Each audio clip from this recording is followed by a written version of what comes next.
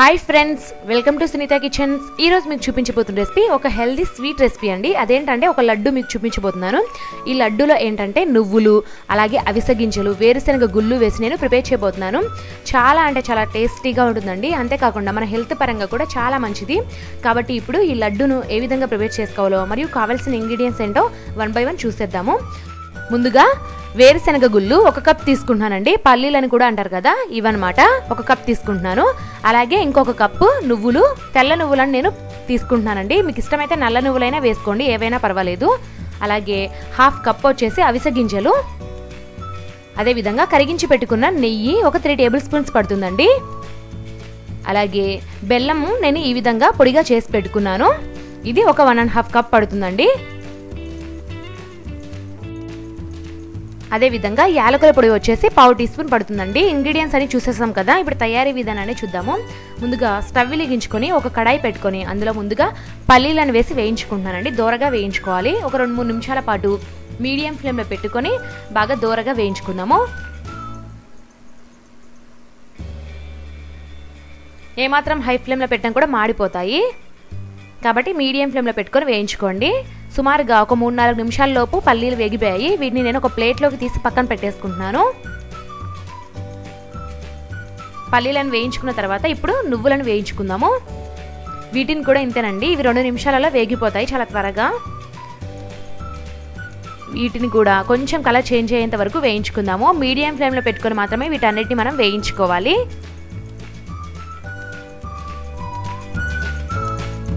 ఒక two minutes తర్వాత చూస్తే ఈ నువ్వులు కూడా కొద్దిగా కలర్ చేంజ్ అయిపోయాయి.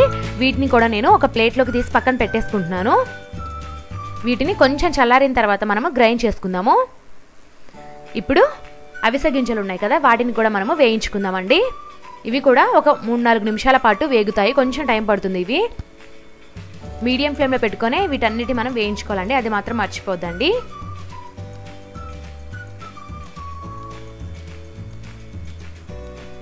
ఒక మూడు నాలుగు నిమిషాల తర్వాత చూడండి కొంచెం కలర్ చేంజ్ అయిపోయాయి. ఇవి కూడా మంచి వాసన కూడా వస్తుందండి వేగిపోయినట్లుగా. వెంటనే దీన్ని కూడా నేను ఒక ప్లేట్లోకి తీసి పక్కన పెట్టేసుకుంటున్నాను. మనం వేయించి పెట్టుకున్న పదార్థాలన్నీ కూడా కొద్దిగా చల్లారిన తర్వాత చూద్దాము. నేను ఈలోపు పల్లీలను కొంచెం పొట్టు తీసి పక్కన పెట్టేసుకున్నానండి. ఇవన్నీ కూడా చల్లారిపోయాయి. ఇప్పుడు వన్ బై వన్ ఒక్కొక్క దాన్ని గ్రైండ్ చేసుకుందాము విడివిడిగా. ముందు నేను పల్లీలను వేసి మెత్తని పౌడర్లా గ్రైండ్ చేసుకున్నాను. చూడండి ఏ విధంగా రావాలి. బాగా మెత్తగా వస్తేనే మనం లడ్డు ప్రిపేర్ చేసేటప్పుడు పర్ఫెక్ట్గా వస్తుంది ఊడిపోకుండా. పల్లీలను గ్రైండ్ చేసిన తర్వాత ఇప్పుడు అవిసె గింజలను వేసి గ్రైండ్ చేస్తున్నానండి. ఈ పౌడర్ ఏంటంటే కొంచెం బ్లాక్ కలర్లో వస్తుందండి. అంతేకాకుండా కొంచెం స్మెల్ అనేది డిఫరెంట్గా ఉంటుంది. కాబట్టి పిల్లలు అంతగా ఇష్టపడరు కాబట్టి నేను ఇది హాఫ్ కప్ మాత్రమే యాడ్ చేస్తానండి. పెద్దలైతే కనుక ఫుల్గా ఒక కప్ వేసుకొని ప్రిపేర్ చేసుకోవచ్చు ఈ లడ్డూని. ఈ అవిసె గింజలు గ్రైండ్ చేసుకున్న తర్వాత ఇప్పుడు నువ్వులను వేసి మెత్తని పౌడర్లా గ్రైండ్ చేసుకుంటున్నాను. ముందుగా వేయించి పెట్టుకున్న ఇంగ్రీడియంట్స్ అన్ని గ్రైండ్ చేసి పెట్టుకున్నానండి. వీటన్నిటిని ఒక ప్లేట్లోకి వేసిన తర్వాత చివరగా బెల్లం ముందుగానే నెలకొట్టి పెట్టుకున్నాను. దాన్ని కూడా ఇప్పుడు మనం మెత్తని పౌడర్లా గ్రైండ్ చేసుకోవాలి. బెల్లం అనేది కూడా బాగా మెత్తగా పౌడర్ లాగా ఉంటేనే ఈ లడ్డూలో బాగా కలుస్తుంది అనమాట కాబట్టి మెత్తని పౌడర్లా గ్రైండ్ చేసుకుందాము. చూడండి ఈ విధంగా వస్తే సరిపోతుంది. దీన్ని పక్కన పెట్టేసుకొని ముందుగా గ్రైండ్ చేసి పెట్టుకున్న పౌడర్స్ అన్నిటిని బాగా మిక్స్ చేసుకుందాము. ఈ ఇంగ్రీడియంట్స్ అన్నీ కూడా కలిసే విధంగా. ఉండలు లేకుండా బాగా కలుపుకుందామండి. ఈ మూడు పదార్థాలు బాగా కలిసిపోయిన తర్వాత ఇందులో ఇప్పుడు గ్రైండ్ చేసి పెట్టుకున్నటువంటి బెల్లాన్ని యాడ్ చేసుకుందాము.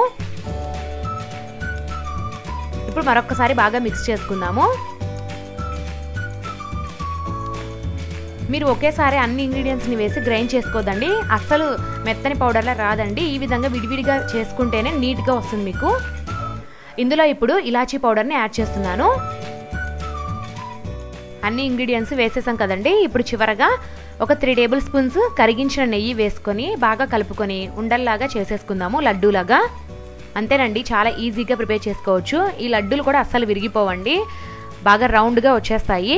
ఫస్ట్ టైం ప్రిపేర్ చేసే వాళ్ళు కూడా చాలా ఈజీగా ప్రిపేర్ చేసుకోవచ్చు. అంత బాగా వస్తాయన్నమాట.